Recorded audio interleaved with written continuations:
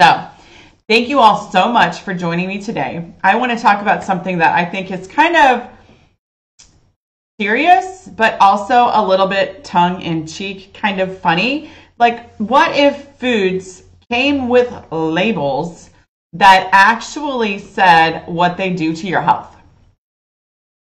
So, what if food labels came with a label that said, caution, eating this product could lower your immune system by 50% for the next four hours?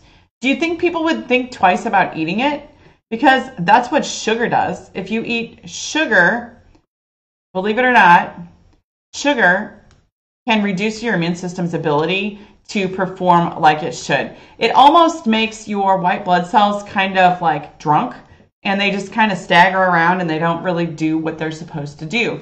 So if you eat like say okay for kids for example, if you send your children to school and you give them a donut or a bowl of cereal that has sugar in it before they go to school, what you're doing is you're reducing their body's ability to fight off germs and bacteria for about four hours. So guess what? They go to school, they come in contact with a bunch of kids before school. They're touching everything because you know how kids are. They touch everything. They're always putting their hands on their mouth. They're doing all these things. Um, they're chewing on their fingers. They're playing with their hair, and they're getting in touch with all of these bacteria, right? Which usually should just make your immune system tougher. But if you're eating sugar before you go into public that way, guess what? You're reducing your immune system's ability to fight off bacteria and germs. And that's why all those little kids come home with snotty noses and such because they're sharing germs back and forth and they are not able to fight them off the way your body is meant to do so. So, what if that box of cereal came with a label that said, caution, eating this for breakfast could cause your immune system to be weak for four hours? Would you eat it? Would you feed it to your kids?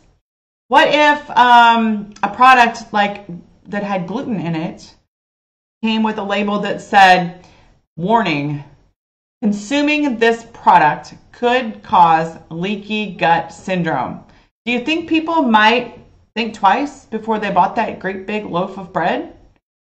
I would, for sure. I mean, I do already. I know these things, so I pay a lot of attention. But because gut health is important to me and because feeling really good is important to me, I try to, um, first of all, pay attention to those things in my life, but I love to share those things with you guys as well. So, I mean, I was just curious if if you saw labels like that on your food, would it make you would it help you make better choices or do you just like rather just keep it in your head? I really appreciate you guys watching.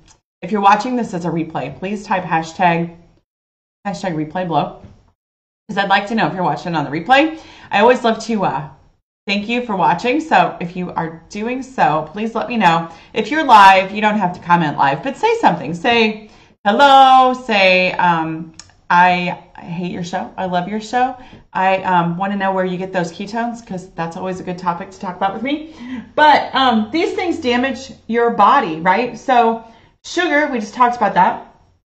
Antibiotics. Most of us know that using antibiotics frivolously is bad for your system. Antibiotics tear up the gut, but sometimes they're necessary. So you want to make sure that the only time you're using them is when they are absolutely necessary. Don't use antibiotics for the common cold. It doesn't cure viruses. Um, processed foods. If you have foods that you're purchasing that have words in them that you cannot pronounce, don't eat it.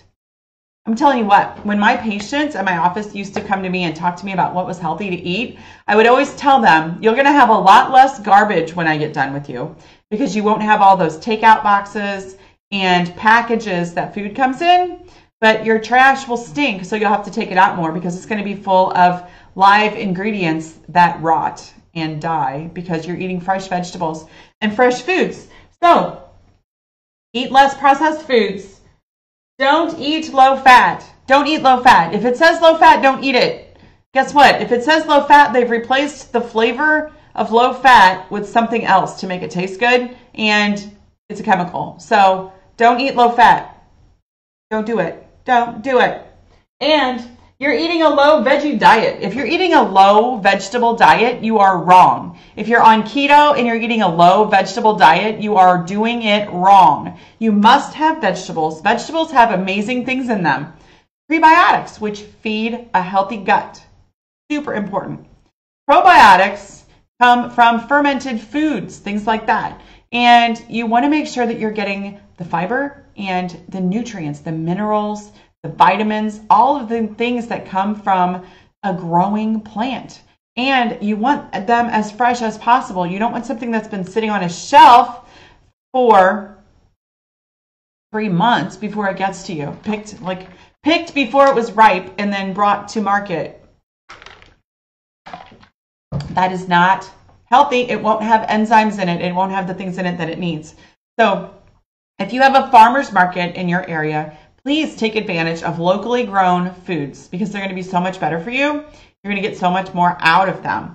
But please do, actually, do not do these things. Don't eat sugar. Don't use antibiotics. Don't eat processed foods. Don't eat a low fat diet and don't eat a low veggie diet. Those are all the don'ts that I have for you today because all of the, those things are super important for you. And if you follow that advice. If you eat foods that you have that have things in them that you can pronounce, you're going to feel a whole lot better. Totally will feel a whole lot better.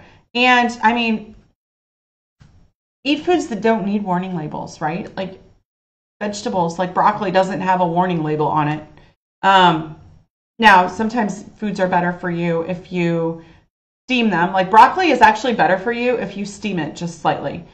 The same with tomatoes. Tomatoes are actually better for you cooked than they are raw, but they're still good for you raw.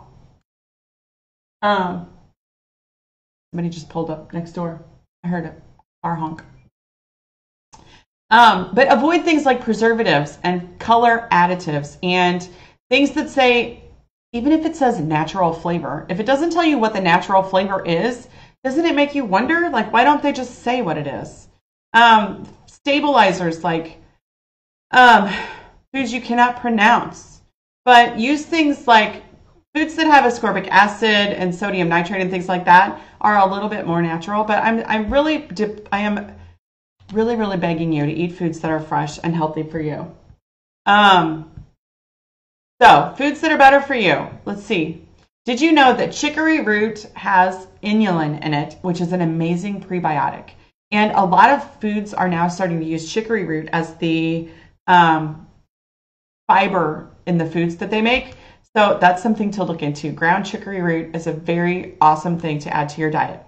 Um, it helps your body, helps your body's beneficial bacteria.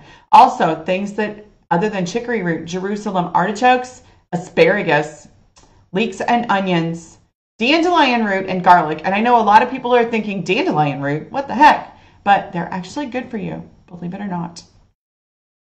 Um, bananas and plantains, especially when they're green, when they're more green, not not totally green. Um, and bananas have less sugar in them when they're more green, so they're better for you instead of waiting until they get super sweet, which is the way I like them. Um, broccoli and cruciferous vegetables, kale, cabbage, cauliflower, all of those are great, and they have sulfur in them, which is great for your body and they help um, reduce inflammation, believe it or not.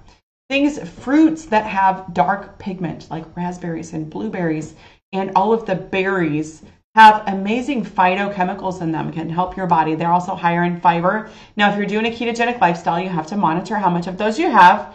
Um, let's see.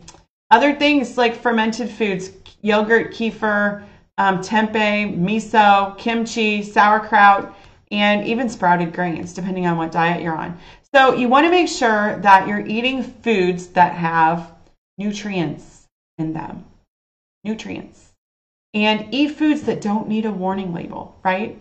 So if you're thinking that maybe the foods that you're eating should have a warning label, like caution, this food might cause leaky gut syndrome. Um, make sure you know what the ramifications are of what you're eating before you do it. Think about it. And if you're an emotional eater and you don't pay attention to what you're eating before you eat it because you're emotionally eating, you need to talk to someone about that. Because if you can't control what you put in your mouth, then you're having an emotional eating issue that needs to be dealt with. And you're never going to be able to eat a healthy lifestyle and live the life that you deserve. Live the life you deserve if you have an emotional eating problem. Because you're being triggered by stress or something else or fear that is causing you to do those things and you are hurting yourself long term. So if you have an emotional eating problem, please find somebody that knows how to deal with that and talk to them about it and make sure that you are dealing with those particular issues. Irene says, I love our veggies. And she also heard that asparagus removes toxins from your body. That is correct. And asparagus is great for your kidneys, believe it or not. Have you ever noticed that when you eat asparagus, it makes your urine smell kind of funky? Asparagus is really good for your kidneys. Just keep that in mind. So I really appreciate you guys watching today. I'm super fired up and I've been working on some things that I'm super excited about and I'm not quite ready to let the cat out of the bag yet. But I did buy this handy dandy journal. It's actually a travel journal, but I'm using it as my daily journal because I am going to start doing some amazing self-development stuff for you guys. And if you want in on that, you got to let me know. You have to buy your own journal. I'm not selling journals. You have to get your own. I picked this one because it speaks to me because I love to travel. It's like part of my soul. And if you want to get in on that, you just got to get your own journal and um, send me a message because I'm going to start a little group of people that want to do some self-development work and I need to like sit down and like I need to brain dump. I need to figure out what it's going to look like but I've been doing a lot of cool things lately, and I really want to help others feel better about the situation that they're in, feel better about their life, and learn to live their own life on their own terms and be happy. So I'm super excited about that. But thanks for watching. Thanks for being a part of Poop Talk. If you have questions or comments, please drop them below. Let me know where you're watching from. If you agree or disagree, that's okay. We can talk about that too. But I love you guys. And just in case Nobody has told you today you are special, you are loved, and you got this. You can do this. I believe in you.